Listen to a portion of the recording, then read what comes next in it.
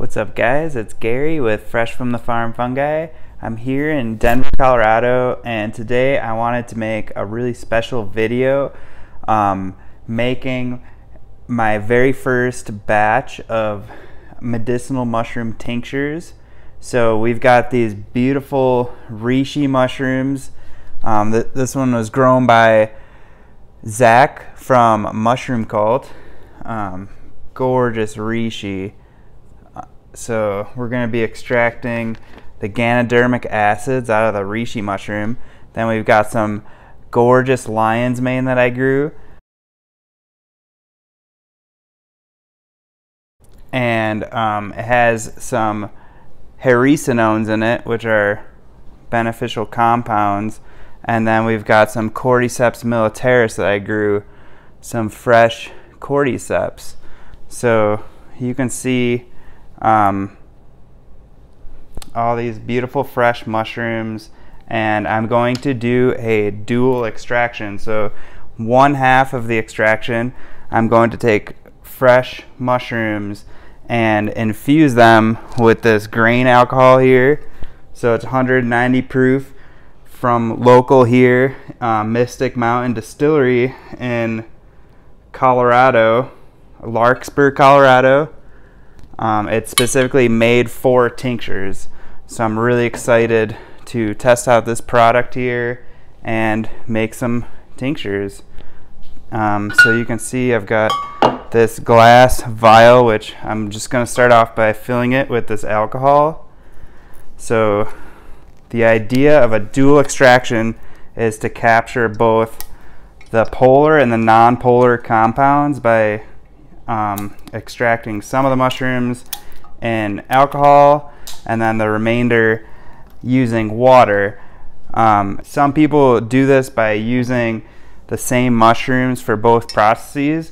I am going to um, do separate extractions and then combine them. So you can see grain alcohol, very pure, and this is going to extract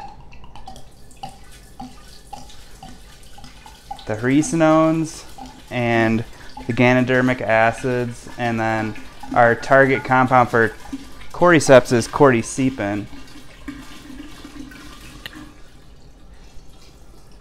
So there's about 1.75 liters of 190 proof grain alcohol it's the 420 extractor, so specifically designed for tinctures.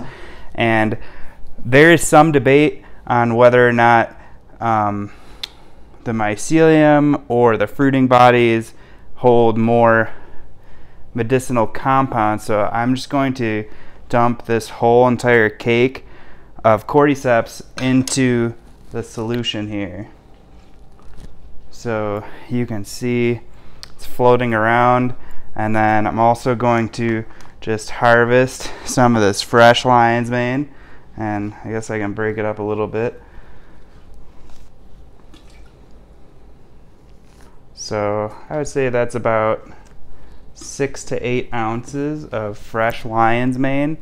And then I'm going to take this gorgeous reishi mushroom, Ganoderma lucidum, and then I'm just going to put this right into the alcohol extract.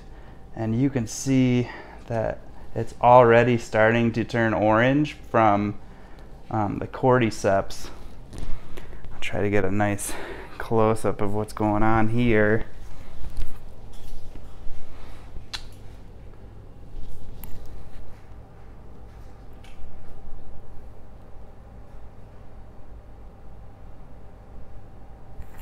All right, so then I have the remainder of this bottle that um, I'm just gonna top off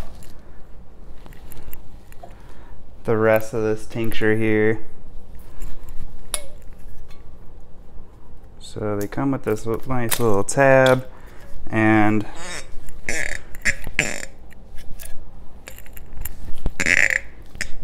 you can see that it's already starting to turn orange and I'm just gonna submerge the rest.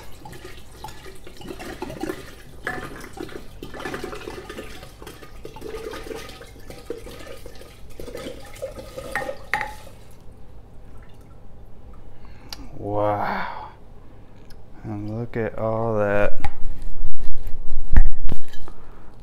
mushroom goodness that is coming out in that extraction.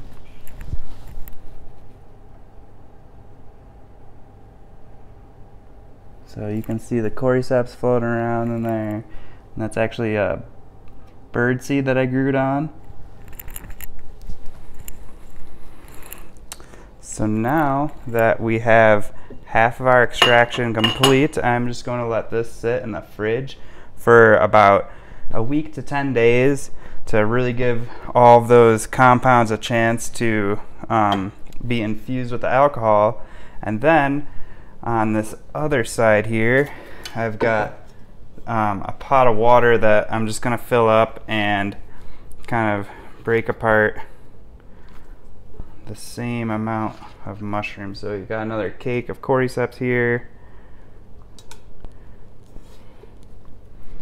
And then I'm just gonna harvest this reishi right off the block.